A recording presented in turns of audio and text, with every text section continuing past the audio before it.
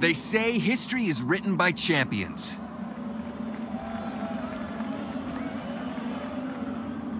Kings. Legends. But when does a generation stop looking up to their heroes and decide to become them?